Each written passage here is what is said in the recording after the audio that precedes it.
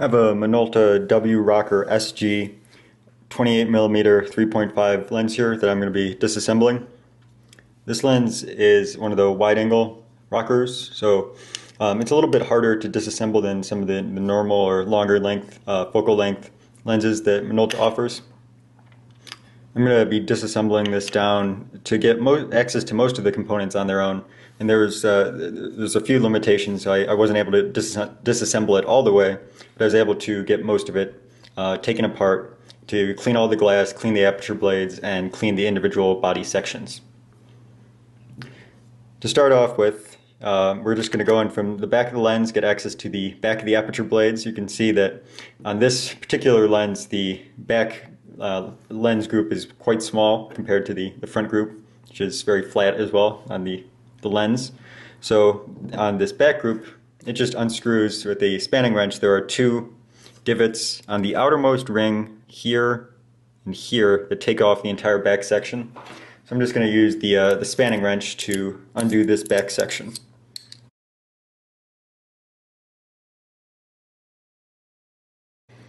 you can really see that when I lift that out, it's quite small uh, compared to some of these other lenses. Uh, so now you have access to the aperture blades on their own. You can see when I hit the stop down lever here, and you can open up and close. Um, and you can also notice here on this lens that the diaphragm and the aperture entire assembly is really small. Um, and that's one of the reasons that I would not recommend that you would disassemble it down to take out the individual blades because it's really hard to put back together. But you can clean these very carefully with a, uh, a Q-tip or something, go in and use a tiny amount of oil to try to clean these. And from this point to continue the disassembly, we have to go in from the front of the lens so we can actually take the entire diaphragm aperture assembly out of the lens and get it on its own so that you could clean both sides of it. So I'm just going to put on the back lens cap here so I can flip it over so looking at the lens from the front, you can see that there's the nameplate going around here, and then there are two little holes over here and here, which you could actually use to take off just the nameplate. But what I found is easier on this lens is you have this metal ring here that goes in and out when you focus, in and out. Um, and you can actually just unscrew this entire thing. So you grab the, the metal ring and undo that, and it takes out the nameplate along with this metal ring. And that's just a lot more convenient. Um, the nameplate on this one uh, you can easily undo it here, but the nameplate on this one uses these two little holes um, over the one here and one there. So you need a different type of spanning wrench, one with the pointed tips instead of the, the slotted tips to actually undo it on its own. So now with the uh, just the lens, all the front of the lens exposed, you can see that you have the main lens group, front lens group up here, and then the focus ring down there. And we're just going to take out the entire front lens group. It's quite large and there are two holes for spanning wrenches. There's two rings. There's this inner ring here that's right next to the lens and then there's this outer black ring that has two slots right there and there. And you want to go on the outer one to undo just the entire group together instead of taking off the front lens element on its own uh, and then having to take off the rest of them and put that back together later. So I'm just going to undo that with the spanning wrench.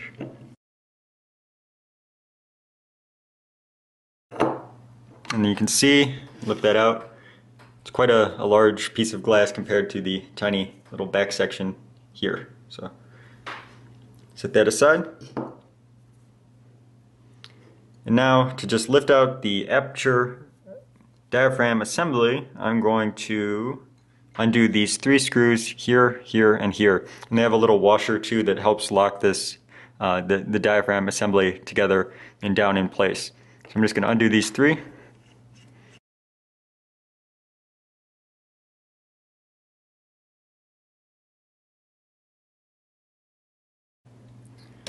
Now if I go in from the back of the lens, I should just be able to push this gently out. You can see there's a black section back there and push that inside out and the entire diaphragm assembly just lifts right out.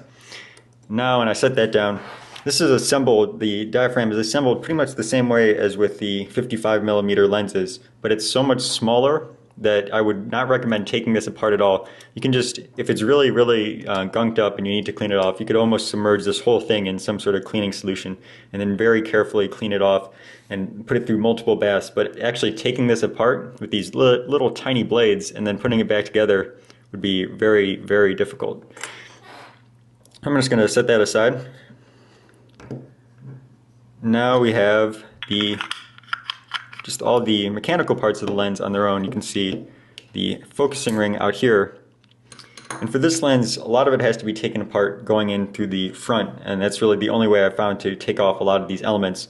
And unfortunately, you do have to take off the focusing ring um, to go any further, and that could require you to go back outside and focus it back correctly to infinity. And the way the focusing ring attaches, there are three screws here, here, and here. And you can see that I'm missing one at the moment, but that's just how the lens came. But I'm going to undo this focusing ring, and that'll take off this black, with the little grippy section, that black ring on the outside.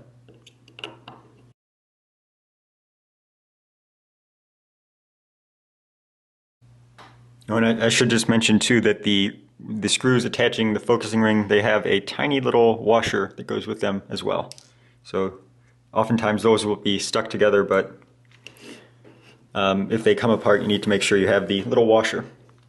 So the next step is going to be taking the helicoils and the focusing assembly out to get access to the back section, which is actually what is coupling the aperture control ring and the stop down lever to the aperture.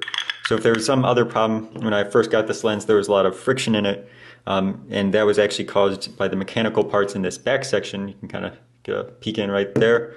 So to get access to those, I'm going to take off this um, this focusing ring. To do that, this brass section just um, screws into place, and this uh, silver section, which actually moves up and down, is um, going to come out as well when I undo this. So I'm just going to unscrew the brass section.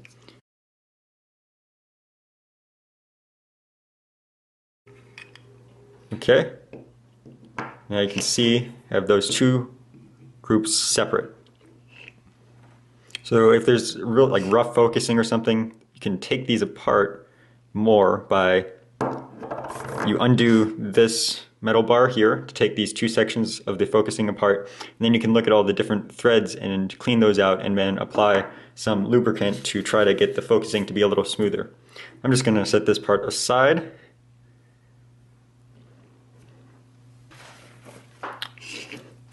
Now continuing on with the disassembly, what we have access to here is all the internal um, things that are coupling the stop-down lever and the aperture control ring to the aperture and the to actually control it on this little piece here. So it's this guy.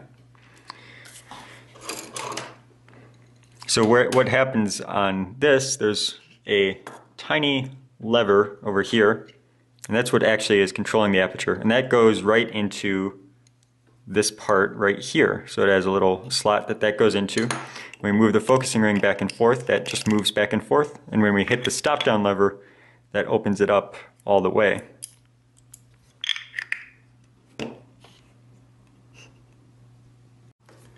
So next I'm going to flip this lens over and start disassembling the back section.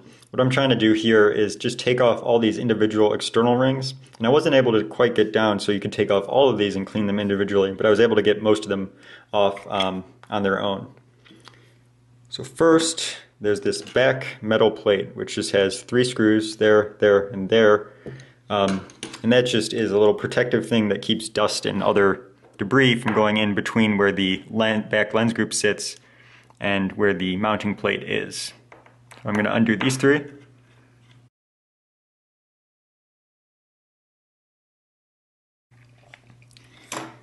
And next, there's this silver uh, ring on the back that sits next to the camera body. And I'm going to take this off. Um, and to do this, there are three little tiny uh, set screws going around it. And one, two, three. And to actually get into the, get to these, um, I had to sort of file down a screwdriver a little bit, when even this very small uh, flathead screwdriver, so that it actually fit in and be able to undo these. And what I'm trying to do here is just loosen these up a little bit and not take them out completely because once you take them out, um, they're very hard to get back into place. So I'm just going to loosen these up. Now this should just lift right off and keep those screws in place. And the last body section I want to remove is the aperture control ring. So it's going around here, goes back and forth. And to actually remove this, there are two pieces that are holding it in place. There's this silver lever that's actually sitting on top of it. So going to move this over. Um, you can see that it's on top of it. There's also this metal bar down here. And what this bar actually does is it sets, it um, provides the curve for the aperture settings. Let me flip this over. You can see this is the other side of that metal bar. And then when I move the uh, aperture control ring back and forth, this little peg here moves along this curve and it gets pushed in and out based on its position in the curve to actually control the aperture, which is be in here. So that gets pushed back and forth from, uh, I think that's fully closed to fully open, and in this case. So both of those components actually have to come out to take off this um, aperture control ring. Uh, I'll start by taking out the, uh, the um, this little metal thing here. So this one is put in place with just a, a flathead screw, but it also has this piece of wire that provides um, springiness so it goes back to its own position. Um, and that piece of wire is looped around this side of the little bar that goes back and forth, and then there's another part pushing up against this wall here. So when you undo this, that piece of wire can probably just remain attached fully. That'd be what we hope for. Or it may come loose. Um, and we can hopefully just take out this entire thing together. I'm gonna focus all the way to maximum aperture, yeah. And then manually push this over a little should just be able to lift that out on the inside. Okay, and you can see the little tiny wire um, going around the two sides of it and the post here that we unscrewed. I'm going to just set that whole thing over to the side. Next for this metal plate, there are just the two screws on the bottom here. And when we undo these, well, they don't um, fit perfectly in place. So one of the things we have to do when we reassemble this is to um, play around with this a little bit to get the aperture to be at the right setting um, when the aperture control ring is at, so when it's at like fully open, that it, the aperture is fully open. So I'm going to undo these two, uh, two screws here.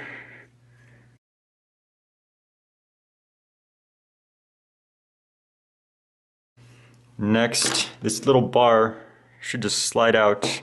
It's easier if I go and push this uh, metal section in here out a little to just slide right Ouch. There we go. So the way I was going in there, it was like this over to the side. I'm just gonna set that aside.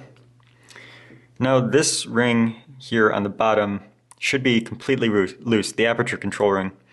And the only thing about this is that there's a tiny ball bearing, um, as usual, in where the, uh, the clicking sound comes from, over on this side near the numbers. So when I'm taking this out, I'm just going to carefully try to undo this and keep the ball bearing from rolling away, usually does. Alright, so you can see the little tiny ball bearing. And the difference on this lens versus the other ones that I've taken apart is that this ball bearing actually rests on the aperture ring. It's a more sturdy aperture ring and there's a little spot right here where the ball bearing rests. So I'm going to set that aside.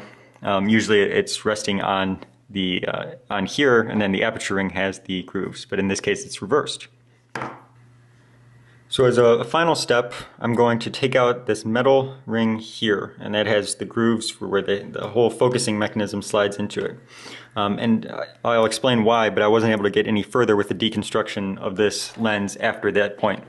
So what's attaching this metal section in place are these three screws going around here, here, and here on the uh, ring with the depth of field scale and everything. Undo these.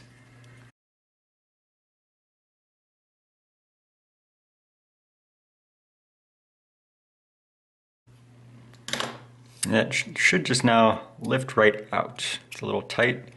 There we go. So you can clean, it seems like there's a lot of oil on this one, um, but you can clean individually down in here. And you also have a little better access to all the mechanical workings going on in here. So this is where I, I stopped the disassembly. Um, and unfortunately, I wanted to take off this last ring here from the lens mount. I wanted to get the, uh, the section with all the numbers and everything separate so you could clean that individually. But I wasn't able to find a way to do that. Um, what you can do though is you could carefully clean this externally, but you just don't want to mess up any of these internal uh, little springs and things in here.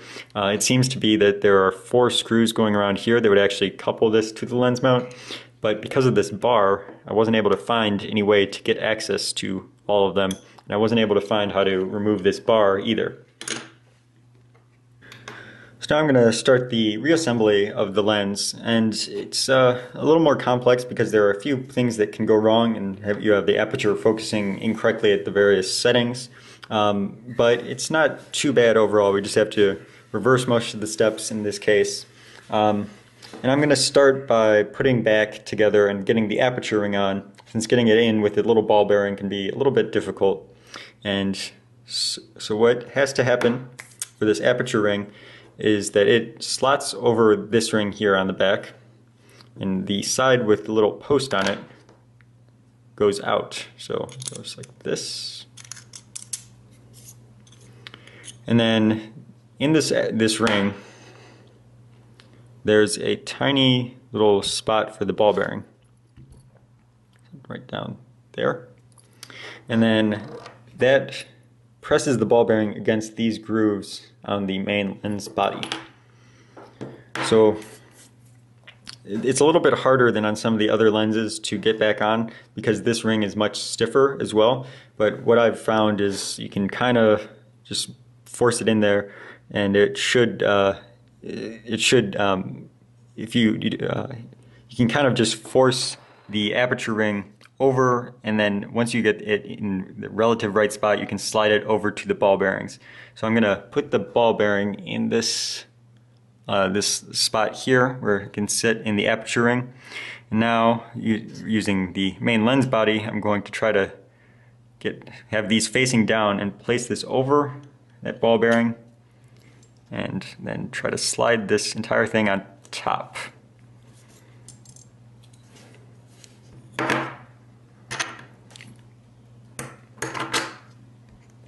So on that first try I lost the uh, ball bearing, so I'm going to have to retry.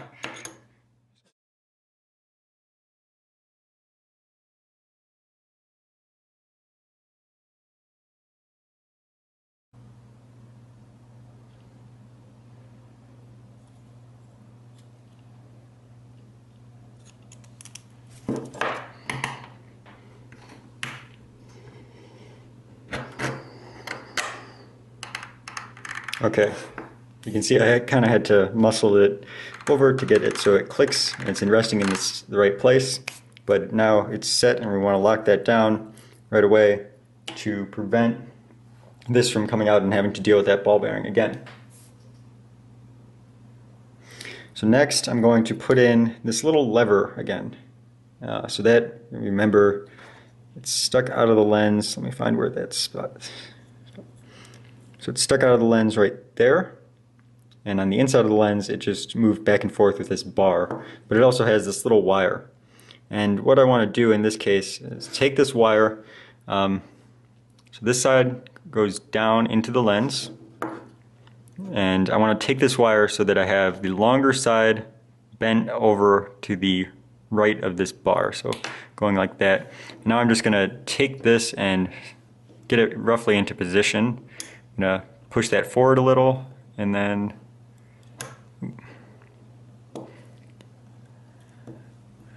move that, get that in position. Okay. Now with that in place, I'm gonna tighten down the slided screw at the top. Worry about the bar and, and the, the little spring in a second. Okay, so that's good. And what has to happen for this little spring, that the two sides of it both should be accessible. You can barely see it. There's a longer side over here, and that's in the correct spot. It needs to be resting against this wall. And the shorter side has to go on this side of the bar. So using like a little screwdriver or something, uh, you don't want to bend it too much, but you're going to take this little uh, shorter side and bend it onto the other side of this bar.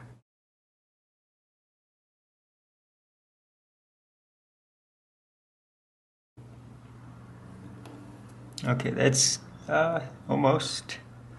Let's loosen this up a little. Okay, now I'm going to tighten it back down. And what you want to look for is that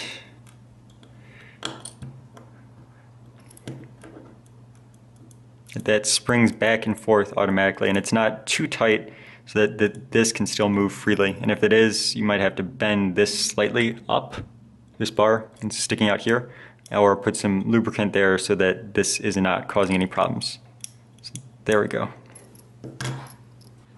And next I'm just going to put in this little bar here. Remember it controls the aperture setting providing the curve for this post here to slide along.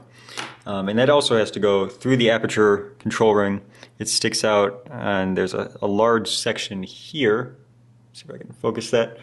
Um, there's a large section here with these two side going out here. And then the way this goes in, you want to have the part with the little knob um, on this side.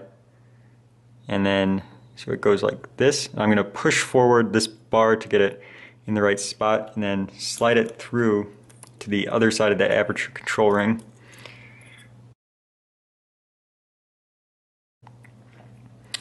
Now I have it on this side. And you'll notice that the places where this attaches, there aren't definite screw holes. Um, and this is one of the, the areas where you can actually adjust how the aperture is getting controlled. Let me just move this so it goes over the two screws.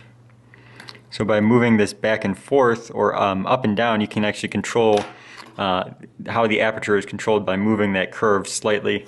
Uh, and I'll just going to put in these two screws and then I can show that. So I'm going to put them in, a, just any spot for now.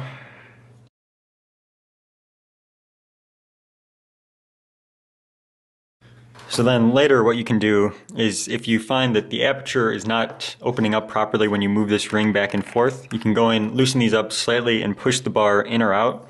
And what that will do is push this curve in or out so that this metal uh, peg hits at a different spot and actually correctly focuses or um, correctly controls the aperture. So right now it looks like it might be a little off, um, but I'm going to leave it like that and then maybe readjust it later. And to finish up with the, the back section, uh, I'm going to put back on this silver mounting uh, ring that sits against the camera. Uh, and there are there is this one little indentation on it, and that's what actually goes over this metal control, metal, metal lever. And then for these screws, there are the three of them going around here. They actually rest in these little pockets on the lens body. Um, so I'm just going to get it in roughly where I think it goes. And using this screwdriver, I'm going to start one of these. And once it's touching the, let me undo that again. So once it's kind of touching the body of the lens, I should be able to find where it actually goes into that, that uh, little indentation on the lens body. Uh, and all three should do that. And how you would know if they're not in that indentation is that when you tighten these down um, fully, the, the metal ring here would actually be uh, sticking out from this back section, from the mounting plate.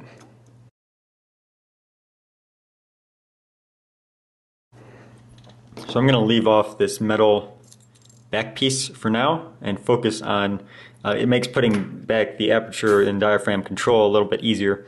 Um, I'm going to focus on starting back and putting together the lens starting from the front. Let me put on the, uh, the lens cap here so it's flat. If you remember, there's this metal ring here that sits on first, so it goes there, and then this um, helicoil slots into this metal ring. So to start with this metal ring, uh, in my case, there's this little section here that has um, it has a uh, set or flathead screw and two little lines that somebody drew on there. And where that um, goes is up towards the front of the lens.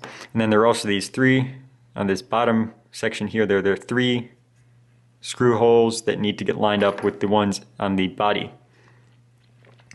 So let me this,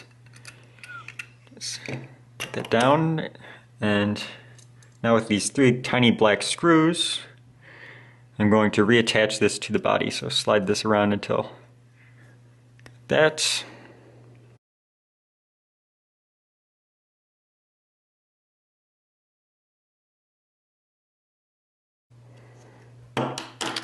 Okay. And next we have to get this helicoils and this whole focusing assembly back into here. And um, the way that this has to work, you'll see on this on the helicoils there's this bar here, and that it's on the intersection. So that the section that actually moves up and down, when I go like this, or um, if if you hold this stationary, the uh, that would be locked into here. So there's a little indentation there that has to get locked into. But then this silver or brass section um, around the edge also has to get screwed into place on here, on these rings in here.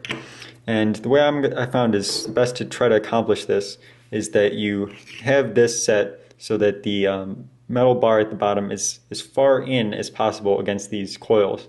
And then start attaching that and go as far as possible with this until you can't tighten that down anymore, then loosen it enough to get the metal bar into the slot here. And that seems to be a general way to get it to the right focus position, so you don't have to re-zero it. But if you're wanting to have a, a more accurate focusing, you can probably go outside and, and re-zero it back at infinity. So I'm just going to start this up at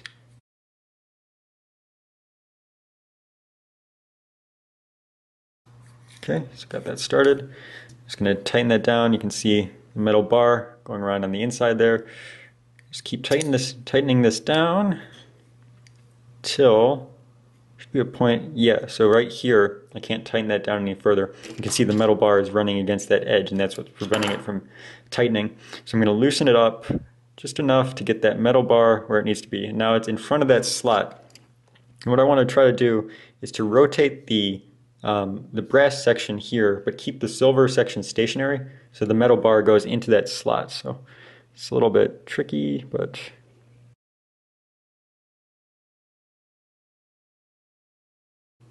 okay, so that seems to be what generally works best. Now you can see if I move this up and down, it focuses in and out. What I'm going to do next is put the aperture and the whole diaphragm assembly back into the lens. And on this, having this back section exposed, you can see there's this little holder thing here. Um, and on the diaphragm assembly, there's a little post that actually, when you move it back and forth, it opens and closes the aperture. And when I thread this in through the front, that post has to go into that hole. So I'm just going to start set this in and position it so it goes like that. Push that down all the way. Now I'm going to put on the back lens cap again. There are the three screws going around with their little washers and everything that uh, lock this down into place. I'm just going to put those in. And I'm not tightening, the, tightening these down fully yet. Um, I'll show you why in a second. I'm just going to get them started and then uh, have them still loose in here.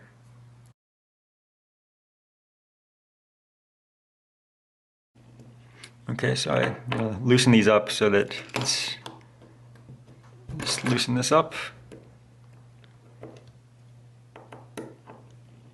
Okay, so you can see now that even though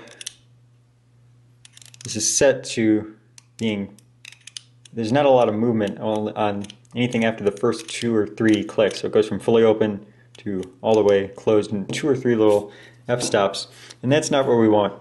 Um, so to actually get this to the right position, there are two things that we could adjust. There's that metal bar on the back that had the curve for the aperture control, but we can also in here spin this around slightly so that when it's set to fully open, it actually is fully open.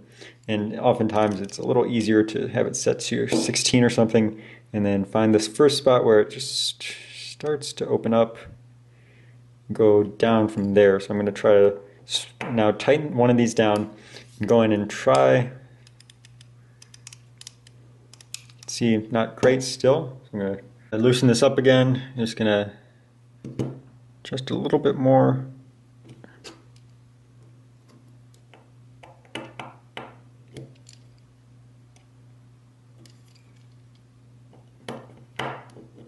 Try that.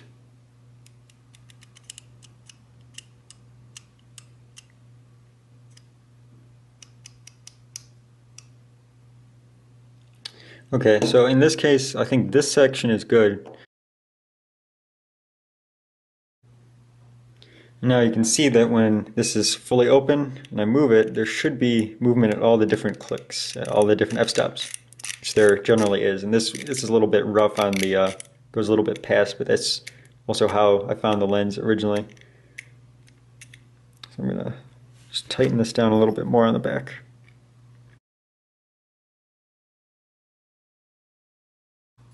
Okay. So the next step is to put the focusing ring back in place. And this is what actually locks, so it, it's what controls what you move when you're focusing the lens. And it locks to the inner part here, or to this brass section here, and moves the front lens group up and down. So it goes up and down. Um, and on this ring with the grippy section and all the depth of field scale and everything, there is this one cutout section which goes toward kind of over here. That should be the only spot where you can, that sets the limits of how far in and out you can focus. And this is what you'd actually have to adjust if you um, need to focus it back to infinity. In my case, before taking apart the lens, I marked um, generally where one of the screws went. So here, just I've made two little marks right there where around one of the screws. But if you didn't do something like that, you need to take it outside and then focus this correctly to infinity with the metal ring here loose and then um, lock it so that it's when it's focused to infinity it's correctly or when it's set at infinity it's correctly focused at infinity. So now I'm going to just tighten down this three screws going around here as I said before I'm missing one of the screws so I only have two And they have the little washers as well that need to go on them.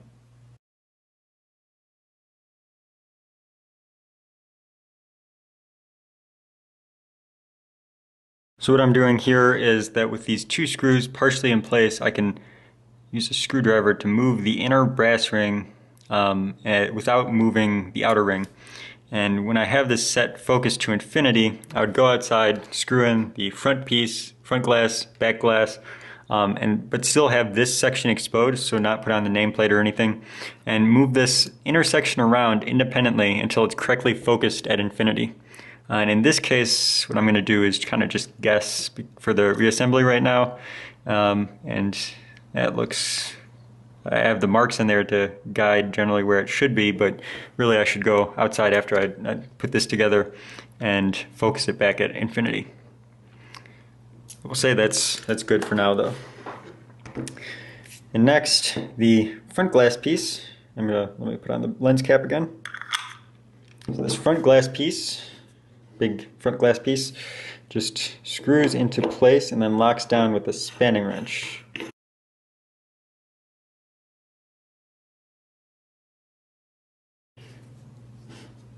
And the taking apart the nameplate here. I'm going to get this started because it's a little easier.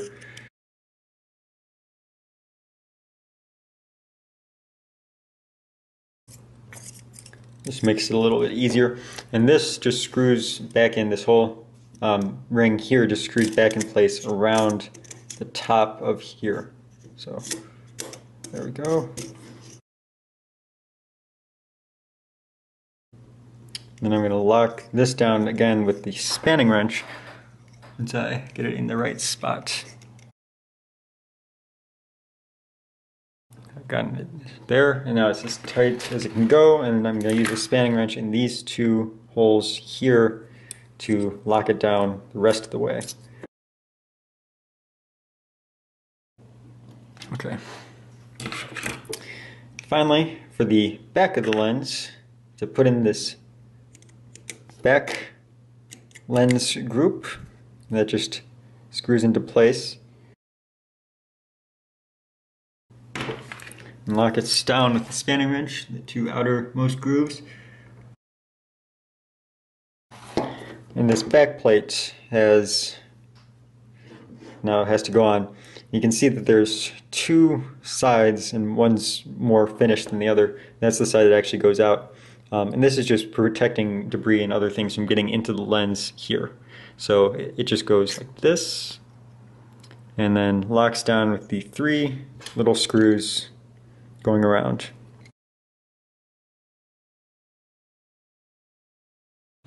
Alright, so now if I go in, I can test it. Um, see that aperture opens up correctly, closes correctly. Um, stop down lever does as it's supposed to as well. So, and everything seems to be working properly again. As I mentioned, I wasn't able to disassemble the lens all the way down to get all these rings off, but um, what I showed should be enough to fix most mechanical problems and clean the, the optics internally or the aperture blades specifically if they're oily. Um, and in many cases, that should be enough for, for uh, most people. Overall, it's not too difficult to take apart, uh, although there are some more annoying design aspects that do make it more difficult than some of the like the 55 millimeter lenses